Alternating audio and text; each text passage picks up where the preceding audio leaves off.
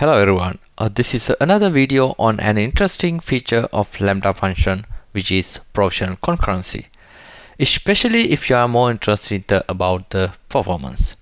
If you want to increase the performance and reduce the latency then provisional concurrency definitely help you by totally removing the cold start of Lambda function. What is a cold start? In brief, yes, the delay which happened when the first very first invoke on the Lambda function. In this video, I'm going to show what is about provisional concurrency and how we enable and implement using demo. Furthermore, I will cover a reserved concurrency, which is another part of the concurrency of the Lambda. Lastly, I will talk about the cost associated with the provisional concurrency as cost is cost always a matter.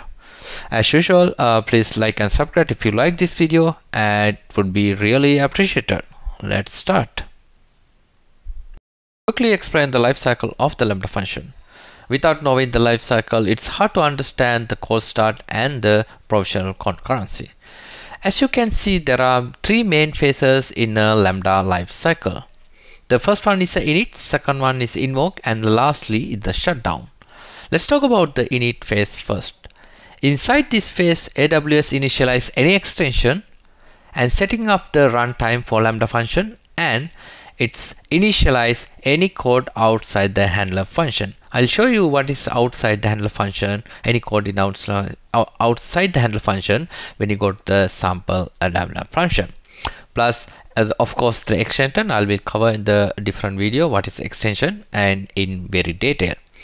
If you go to the invoke, yes, invoke inside this phase, the your code is executed and lastly shut down where shut down the runtime uh, environment and close up or shut down the only extension attached to. Usually when the uh, when a request come from the user the init phase is triggered and then invoke. After invoke the aws waits some time for a subsequent request. If there are more requests it's execute the execute the second request and use the same environment Finally, no more requests come, it shut down the environment and clean up the resources. As I mentioned, the uh, this init phase is happening only very first time and same environment is used for subsequent request. As there are many things happening in the inside the init phase and it's lead a delay to response to the user. So this is called this is called cold start. If you have a more codes mean more delay. To overcome this cold start, we can use provisional concurrency. Simply what does it does, AWS will preset up the environment for the Lambda function. So even for the very first request, the invoke is executed immediately and the user gets response quickly without any cold start. AWS doesn't shut down this environment if, if the provision concurrency is enabled, AWS doesn't shut down the environment. So you can define how many provision concurrency instance should be run up and running for a given time. Right, that's all about the theory. Let's go to a console and create a, a lambda and see how we enable provisional concurrency. Right, as you can see, I created a lambda function with the node.js. Feel free to use any supported languages as you wish because the concept is going to be same. Let's quickly go to the sample code. There are two console messages, one outside the handler function as you can see and one inside the handler function. So if I trigger the lambda function using the test utility, we should see uh, these two messages. Let's uh, trigger one time. If I go to test, and click on one. Yeah what you can see uh, both console messages are shown. So the green color one come from outside the handler. The red color messages come from inside the handler function. If I trigger another time theoretically only the second messages should be shown. That is only the red one blue one should not show let's try again if I click on again as expected we got only the second uh, message The reason is that second request is served by the same Lambda instance. So let's see how we can overcome cold start by implementing provisional concurrency. Even for the earlier we got the two message at the very beginning. With the provisional concurrency what we're gonna say we should get only the one message which is inside the handler. We should ever never we should get the outside the handler for the user invocation. To implement a provision concurrency, you need to create a, a version and alias. Let's create a version and uh, see how we implement provision concurrency. Create a new version for this Lambda. Go to the version tab and publish a new version. You can give a description as a which, description which is optional and uh, click on publish. You can see we got a, a new version version number 5 now let's add a, provision concurrency on this on top of this version. Configuration tab. Then concurrency tab uh, click on add and which will give a page where you can configure your provisional concurrency. Over here we are creating concurrency on top of the version not alias. Click on the uh, version and select the our version which is version number 5 and give it a how many concur provision concurrent instance you want to run. So let's give a one and click on save and see uh, we got uh, one provision concurrency it's a zero provision concurrency the one is in in progress.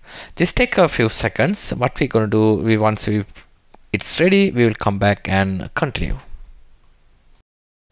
Right.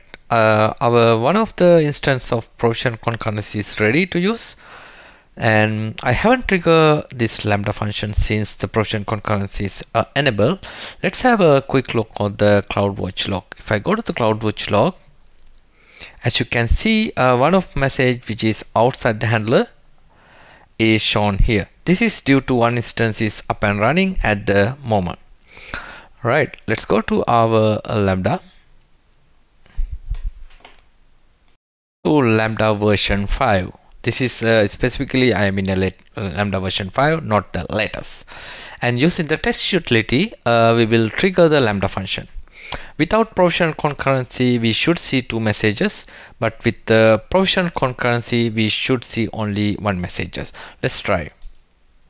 Uh, as we expected we got only one message which is handler function inside the handler function.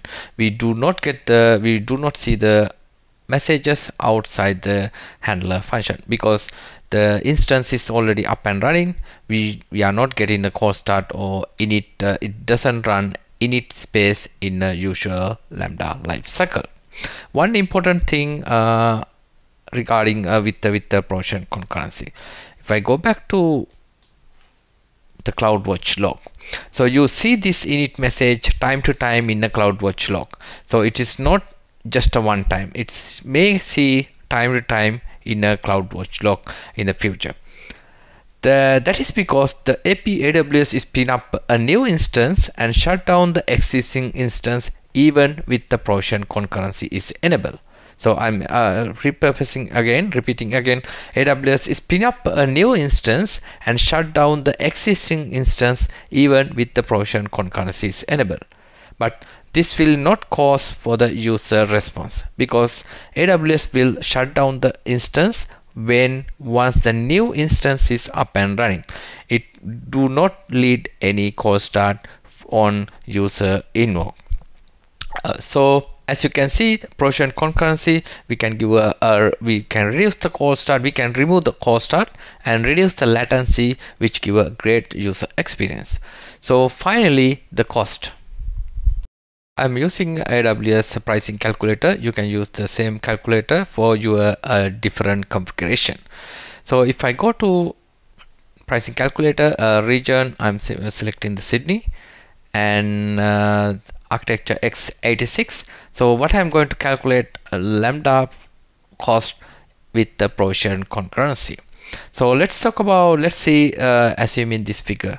So we assuming uh, 10,000 number of requests per day and each each request uh, we assuming uh, 3 seconds with the 512 uh, RAM.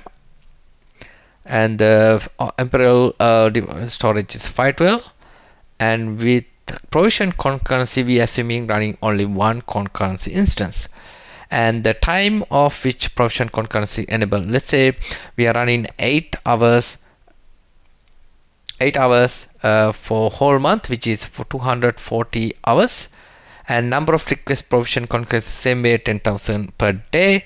And uh, each request we are assuming 3 seconds with the 512 RAM. So based on that what we get uh, $8.83 USD for one lambda function uh, with the one concurrency. So if we increase the 10 let's say if we increase 10 um, 10 instances assuming we are running 10 provisional concurrency instances the cost will be $29 with with this configuration.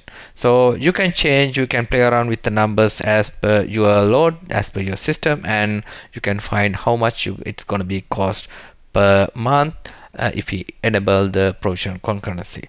Yeah this is come with cost but it's it's give a great experience for the user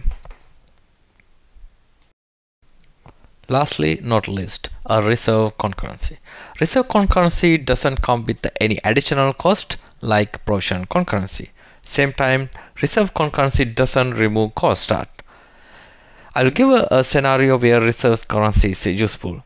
Let's say you have a function which is critical for your system. Then you can reserve some concurrency to specific to specific lambda function. So other lambda function are not allowed to use those reserved concurrency. As you can see in this image, you can allocate 400 concurrency to function orange. It doesn't share this 400 concurrency with other lambda function. But the rest of the thing, for example, there are 1000 concurrency per account. All the rest of the lambda function share 600. It doesn't use any uh, one of the 400 concurrency which is allocated to the function orange. But one thing you have to remember when the function orange is reach 400 concurrency it start to throttle. So it doesn't use any additional uh, or available concurrency within the account Right, uh, that is pretty much on concurrency of Lambda function. Hope you got something out of this. Finally, uh, please like and subscribe, it would be really appreciated. Furthermore, if you have any question or comment, please comment below, I will get them as uh, needed. Thanks and see you in another video.